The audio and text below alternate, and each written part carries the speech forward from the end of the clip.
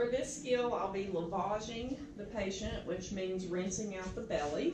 The things that we'll need for this is our doctor's order, of course, that says to lavage with normal saline until clear. We'll need our gloves, hand sanitizer, lavage kit, normal saline solution, stethoscope, litmus paper, and a towel to place over the patient's chest. Today I'm going to be performing lavage on my client. I'm going to address my general principles and safety practices, check two identifiers on the patient, and perform hand hygiene. Apply my gloves.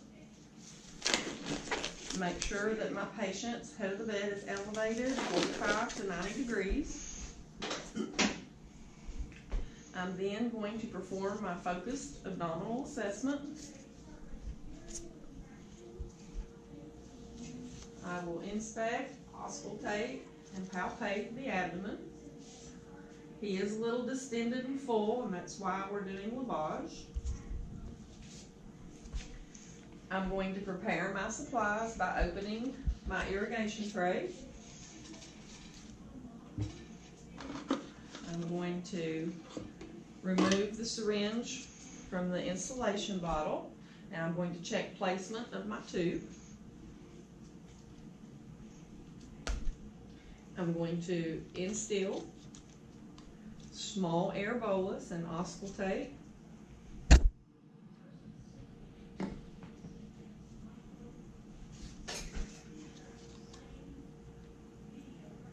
And I hear gurgling. I'm now going to check the gastric residual. I'm going to anticipate that my patient is really, really full. And he is. I'm still getting lots of residual back. So at this point in the game, I'm going to allow the contents of the stomach to drain into the container provided. I'm going to take a little bit of the gastric secretions on my syringe and check the pH, which is 0 to 5. I'm going to fill my container with the prescribed amount of normal saline and once all return has stopped from the tube, I'm going to begin irrigating with 60 cc's at a time. So I'll fill the syringe to 60 cc's, allow that to drain into the belly, and then I will open it up and allow that to return back into my container. And I will repeat this procedure until the gastric contents run clear back out of the tube. Once that takes place, I'm going to reclamp my tube.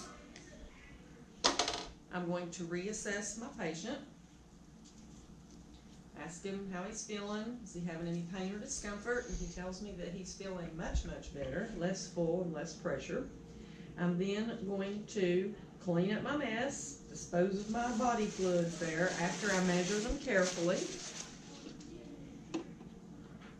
I'm going to position my patient comfortably. Once I've made sure that my patient is okay and I've left the room, I'm going to document the procedure. Um, 12, 14, 18, 1.30 p.m.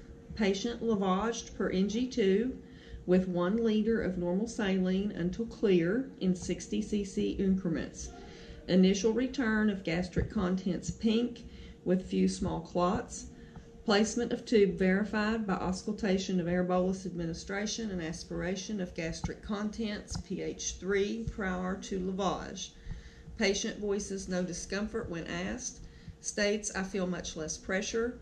Total return of 1200 milliliters obtained.